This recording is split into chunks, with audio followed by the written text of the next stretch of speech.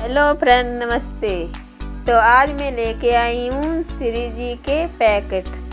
तो मैं दो पैकेट लिए इनको हम काट लेंगे और देखिए, एक बर्तन में निकाल लेंगे।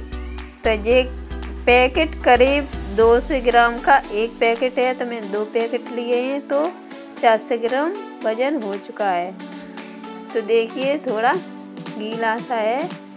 इसमें और कुछ नहीं करना है। थोड़ा हम गुनगुना सा पानी लेंगे। और देखिए, बिल्कुल हल्के हाथों से इसको गूंदेंगे।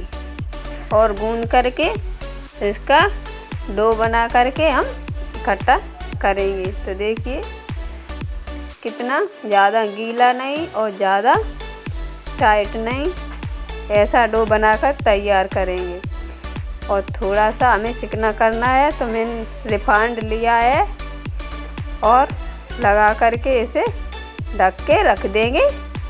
तो 10 मिनट हो चुकी हैं ढके हुए तो मैं गोली बनाकर देख रहे हैं। तो देखिए, इस तरीके से गोली बन रही है तो इसे हम तैयार कर लेंगे बना करके। तो गोलियाँ देखिए, बनी हुई रेडी हो चुकी हैं। तो मैं चाशनी के लिए एक लीटर पानी लिया है।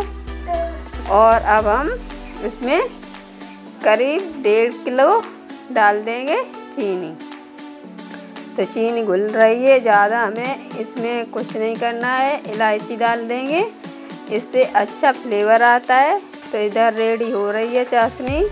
और हम इसमें डाल देते हैं ऑयल। तो देखिए, ऑयल गर्म हो चुका है, तब हम इन गोलियों को सेकेंगे